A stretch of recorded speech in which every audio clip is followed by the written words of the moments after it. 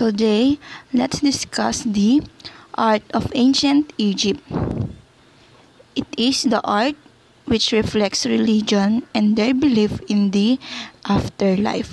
So, where and when the art of ancient Egypt occur? So it says here, it is located in the Nile River Valley of the Africa and started during the year 4000 BCE until 3000 BCE. Now let's proceed of what does the community of ancient Egypt were made of. So we have here the communities were made up of soldiers, slaves, priests, scribes, artists and craftsmen, farmers and herdsmen, pharaohs and queens, and gods and goddesses. Now let's talk about their leader. So they are called pharaohs. So the leader was called a pharaoh the pharaoh was believed to be half man and half god. Then, the afterlife of the pharaoh is an important theme in an ancient Egyptian art. Now, let's have the what question. So, what are the arts of the ancient Egypt? So, the greatest architectural achievements of the ancient Egyptians were the pyramids. Pyramids were built as tombs for the pharaohs. The pyramids contained the items that the Egyptians believed that the pharaoh would need in the afterlife. Much of the ancient Egyptian art that remains today was preserved in the pyramids. After that, we have here the other art created by ancient Egyptians. So, these are the other art created by the Egyptians. So, Egyptian people had rich culture and loved to make art. The Egyptian people also made statues, relief carvings, paintings, pottery, jewelry, sculptures, and even coffins. Most ancient Egyptian art is found buried in the ground or found in ancient Egyptian pyramids. Now, let's talk about the three purposes for art. So, Egypt is said to be have the first great art style and the purposes of it are first the art for the home, next is art for the gods, and art for the dead and their paintings has the strict rules to follow. First is to the paintings had to have side view of the feet, front view of the shoulders, side view of the head, and the last one is the front view of the one eye. So let's take a look on their paintings.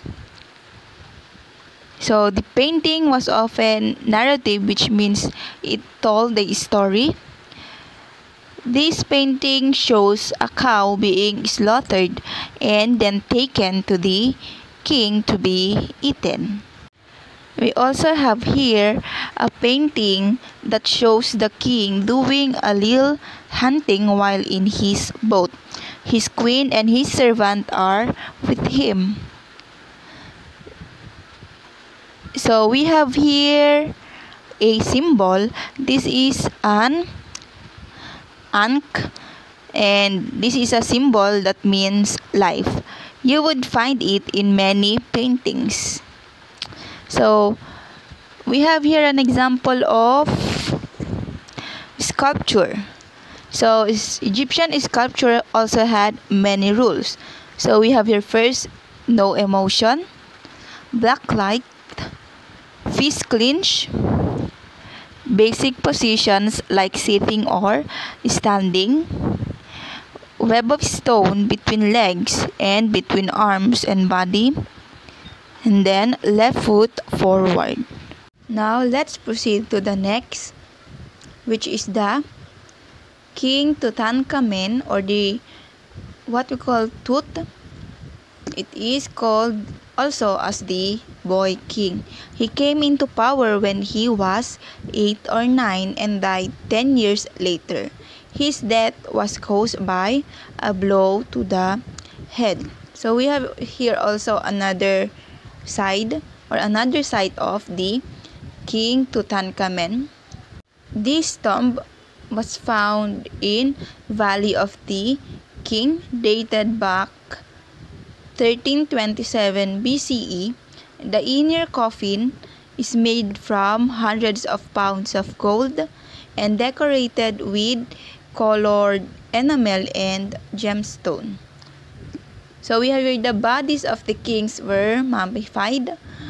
The organs were placed in jars. The brain was taken out through the nose with a long hook. The body was dried in salt, then soaked in oils, wrapped in mummy cloth, coated with wax, face painted on it, and the body was then placed in a stone box called a sarcophagus. So these are the procedures on how they preserve the tomb or the mummies of their kings. Now let's proceed to the Egyptian belief. The Egyptians had a strong belief in the afterlife. They called their soul as Ka. Then they built an entire city for the dead called a necropolis. The dead enjoyed life just like they did in their earthly life. So that's are the belief of the Egyptian. Now let's talk about the pyramids in Egypt. So it says here there are approximately 100 pyramids in Egypt. A pyramid was built to be the tomb of a king. Secret chambers in the pyramid held the king's mummy, coffins, and special items from the king's afterlife. Ancient Egyptian people believe the pyramid connected the sky and the earth. So, we have here first the step pyramid. It is designed by Imhotep, the first known architect or artist. Next, we have here the Great Pyramid of Cheops. So it is 775 feet in length and 450 feet height. It covered 13 acres over 2 million stones and each stones weighing 21 over 2 tons. So, the first pyramid was built for King Djoser it was a step pyramid. It was designed and built by an artist and architect named Imhotep. Imhotep is the first architect whose name is recorded in history. This pyramid was built about 2600 BCE. Now let's talk about what the pyramid made of. So the pyramids were built using blocks of stone. Originally, the exterior of the pyramids had a smooth quality. However, due to time, wind, weather, and etc., this smooth facade has worn away.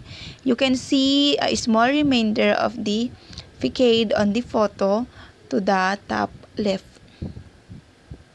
Now, let's talk about the Egypt El Giza or the what we call Great Pyramid.